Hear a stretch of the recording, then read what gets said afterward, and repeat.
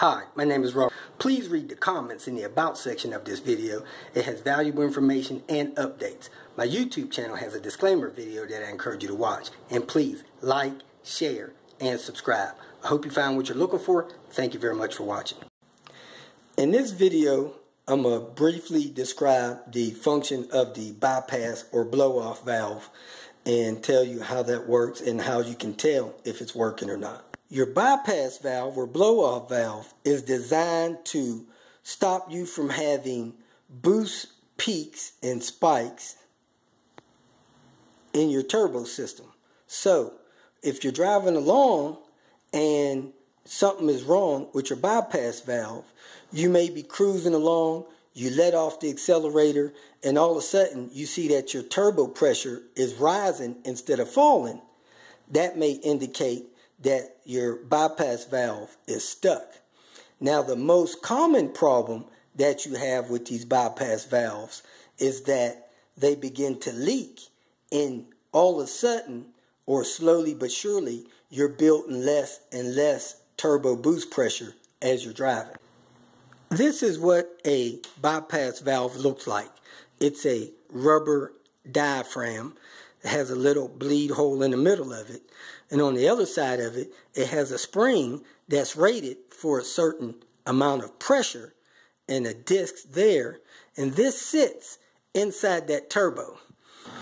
Okay, so you're driving along and you know how much you're supposed to boost in PSI, or you know how far your needle's supposed to go over. Then one day you notice it's not going as far and that slowly gets worse and worse. Your boost pressure drops from 10 psi all the way down to 8. Then it drops to 7, 6, 5. Before you know it, you're only boosting 3 or 4 psi.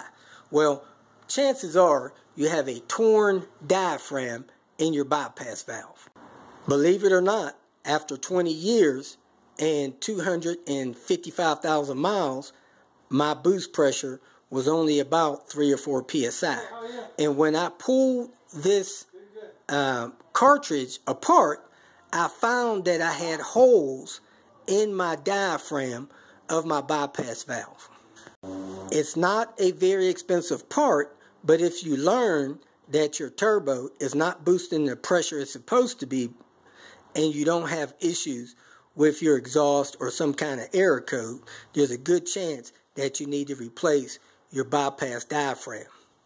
Now, some of these diaphragms are rated at different PSI.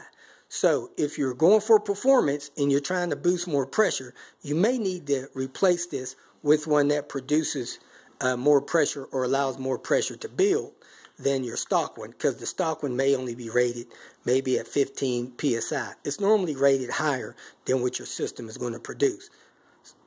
So to overview, you have a bypass or blow off valve. If that diaphragm in there gets torn, it'll stop you from building your proper pressure in your turbo system, which will make it not as efficient as it's designed to. So if you're experiencing low boost pressure, you probably have a, a torn diaphragm in the back of your turbo. If you feel that this information was useful, please like it and share it with your social media friends. You can subscribe to my channel so that you will get notifications of future videos that I post. You can follow me on Twitter, and if you need to contact me directly, please visit my website. And if you have any questions, leave them below, and someone or myself will reply to them. Again, thank you very much for watching.